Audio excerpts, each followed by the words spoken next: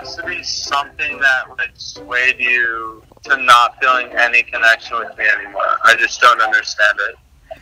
Nothing. I just like now that I, like I thought about it, I just I really don't feel any connection with you. Like I'm just I don't know. Like I feel like we're on different pages. I feel like like I'm just over it and I'm like I'm not I mean I'm attracted to you. You're handsome, but like I just I'm not I'm not into it. Can I see you tonight? No. Potentially swayed you away from feeling how you feel right now. No, because that's making me not feel how I want to feel. What is that going to do? Yo, what the fuck happened? Nothing happened. I'm just I made up my mind. And I'm not going to lead you on. That's not me. Was it Sunday? Was it Sunday? No. No. You're not going to oh get my god, yo, I could read like a bro. All right, Alright, bro. Honestly, like, you're the best I ever had. Can I just say one thing? What? I'm downtown Santa Monica right now. Give me one shot to meet you right now. No. So difficult. Alright, so See, and now I'm difficult. So, where where do we match there? Where do we match? Nothing happened. I thought about it. I came to my senses, and I realized that I'm not into it. All right, let's go.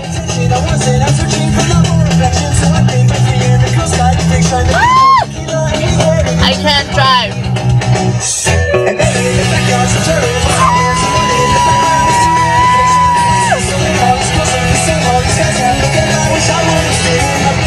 Okay, guys, so this originally was supposed to be like a vlog. I was gonna vlog my day, like what I was doing. But as I sat here, got a couple text messages. Hold on. Saw her standing there with green eyes and blonde blonde hair. She wasn't wearing underwear. At least I pray that she might be the one. Maybe we, My favorite part, listen. maybe we watch the sunrise. But that night I learned some girls try too hard. This video is gonna be dedicated to boys. Girls out there, this is gonna be a video. You're gonna wanna sit your boyfriend down and say, you're gonna watch this motherfucking video and you're gonna learn. Because the things that guys think that they can get away with are not okay at all. At all. At all. Especially when it comes to dating a girl. I don't care what kind of girl you are. Any kind of girl. Boys need to know the boundaries of yes, things you can say, things you can do, and how far you can take certain. Oh, I spit everywhere. I can't even talk. I need a glass of water. Hold on. Water break. Uh, when I drink water, that's when you know I'm about to go in. like I'm about to go in. Someone's about to get a new asshole ripped open. Ew, that's a gross analogy. Someone is about to get a new black eye. No! I'm going, bitch. God. When I'm coming through, you stay aside. You stay in your lane. I need to come through. The bitch wants to look at me, so look at me and the camera, girl. How about that one? If you're gonna look at both, you're gonna look at both. You know what I mean? You're gonna look at me and you're gonna look at the camera, bitch, if you wanna be nosy. Instead of sitting down talking to the camera, this is gonna be action, real life thinking in the heat of the moment, talking to you guys one on one while I live my freaking life in Southern California. So, first things first, boys, guys, men, that's I don't even date boys, I date men. That's why, because I, I feel like boys are 10 times worse. I am speaking for us women whether we're genetics, whether we're trans, whether we're gay, what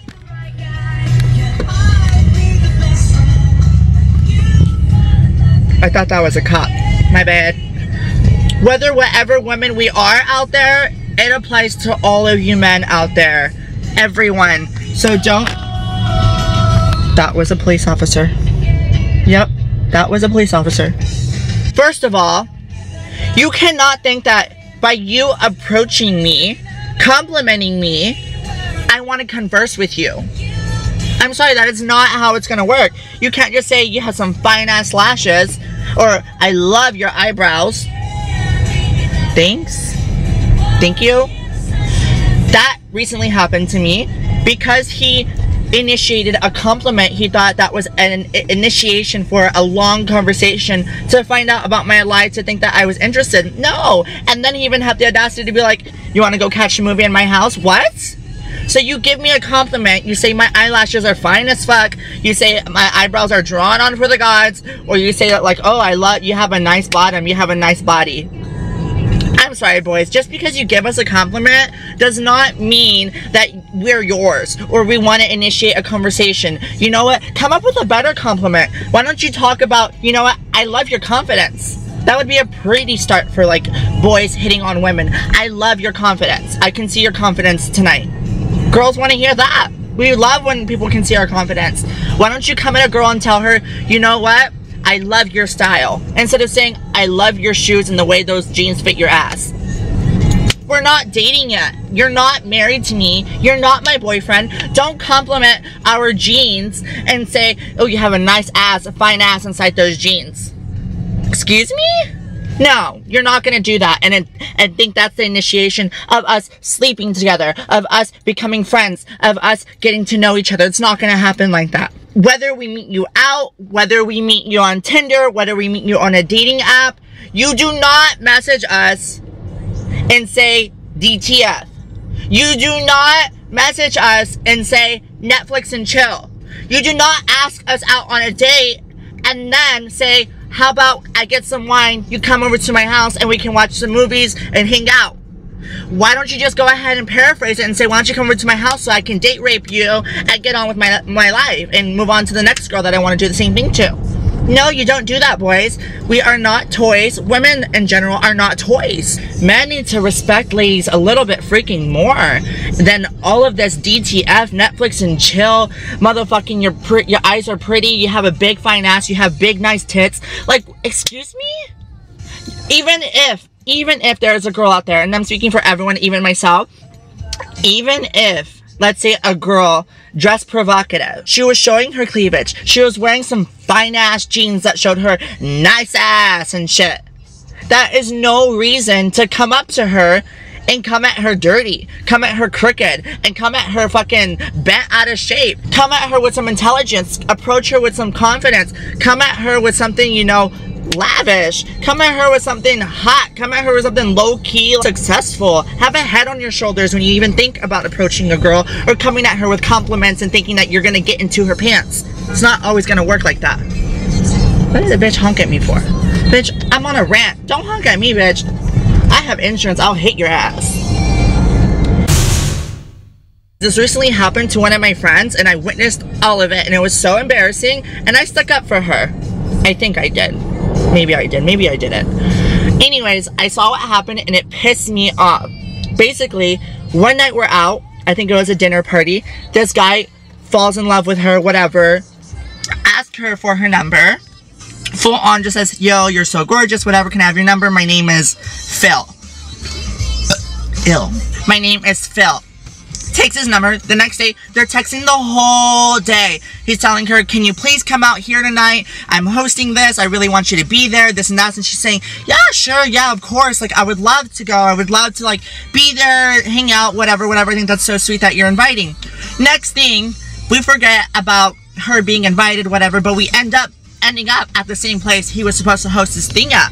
So we go to this table, we go to this booth, we're having fun, doing our thing. I see this cute boy. I go up to him, he starts dancing with me, whatever, whatever. My girlfriend pulls me aside, she goes, Hey, I think that's the guy from the other night that like told me all those cute, like, nice complimented things, tried getting me to go to his house, yada, yada, yada. And I was like, no, it's not. Like, that guy's name was this. She was like, well, why don't you low key ask him what his name is and turn around and come tell me? And I was like, okay, I guess I can do that. So I went ahead and low key, while we're dancing and he's sweet talking in my ear, going in with the compliments, I go, um, I'm Demi, by the way. What is your name? And he goes, Phil. I turn around and tell my girlfriend, I'm like, he said his name is Phil. She goes, are you kidding me? Like, he's seen me here this whole time. The other day, he told me A, B, C, D, E, F, G of what, you know, how beautiful and gorgeous I was and how he wanted to get to know me and how he wanted to take me out and how he wanted me to go over to his house yesterday and blah, blah, blah. And then I turn around and say, Oh, Phil, I want you to meet my friend Blank. He turns around and, and he goes, Phil, my name is David. In my face. introduces himself as David when he totally when he totally just told me another freaking name. Her face broke. She said, No, you're not gonna do that. No, I'm sorry, you're not gonna do that and pretend like you don't know me. She grabbed me, I grabbed her, I looked at him, I said, No, you're not gonna do that. You're not gonna do that. You're not gonna do that. There's this boy this man. There's this man that I've been kind of talking to, you know, here and there. He tells me everything I want to hear. A, B, C, D, E, F, G, motherfucking I, N, G, K, Y, X, L, M, N, O, P. Says everything I've ever wanted to hear. And then he hits me with a, why don't you come over tonight and we can like chill. My roommates went to sleep. Your roommates went to sleep. You want me to come over and hang out with you? And this would be the second date? The first date I had to I had to tell you I wanted to go to the movies and to dinner or whatever.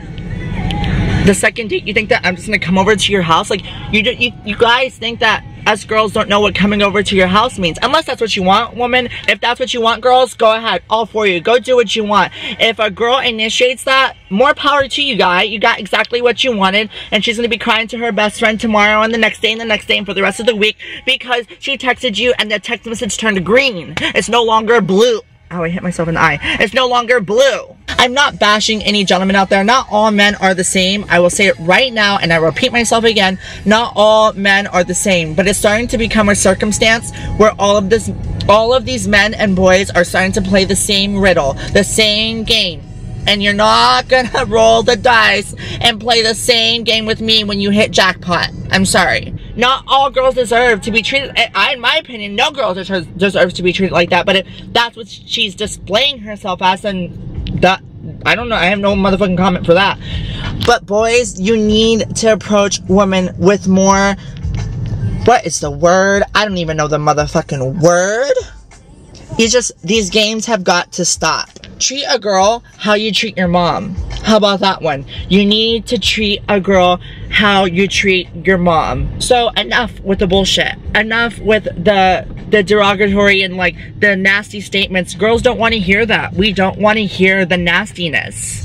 In what world do you live in that you think you can talk to ladies like that? In what world do you think that just because you approach them with a compliment, you own them? Or in what world just because you send them a drink, you think that you're going home with them? Where's the competition of fighting for a girl these days? Where is the competition of, you know, really wanting a girl so bad and doing everything you can, whether she tells you no, whether she can't. You, you send her flowers, you, you call her, you leave a voicemail, you text her, you tell her how you actually feel, you tell her how you want to take her out to dinner, you tell her how you want to take her on a trip. Like, where is all of that? Like, it's lacking. Cherish your women and treat them like a trophy. You should treat all your girls, women, any girl, any woman like a trophy because she is a trophy and she deserves to feel like a trophy. Girls, I hear girls cry so much about how they just want to be married and just want to be in relationships, but they can't stop being a hoe. They can't stop letting these men run train on them. They can't stop letting these men control them and do things to them and think that they're theirs and, you know, play them, literally play them like Monopoly. Put an end to it. It's done. Men, treat your women right. Come at them with some brains. Come at them with some ambition. Come at them with some formation. And that pretty much was my rant for today. I'm over it. I've had it above and beyond into infinity and beyond, girl. Ah! Ah! I want to honk my horn. Anywho, girls, more of the story. Respect yourself. Set some grounds. And boys, step your pe step your pussy up, boys. Step your pussy up. Whether whatever what kind of girl it is whether it is a genetic girl whether it's a transgender girl whatever whatever kind of girl it is they all deserve to be treated the same with respect and with class. So don't come at them crooked anymore. Think with the head on your shoulders and don't think with your head below.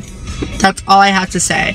Anywho thank you guys so much for watching my rant it's actually my opinion of what boys should be doing if girls and guys if you don't agree that's okay. Carry on. Sashay, be gone. But you came to my motherfucking channel to listen to what I had to motherfucking say. So you got to hear what I had to say. I'm here for you, sister. Put your foot down, set some morals, and think highly of yourself because you deserve so much more if you're being mistreated by anyone and anybody. I love you so much. I didn't get my nails done. This shit is embarrassing. Until next time, live your life. to fullest capacity.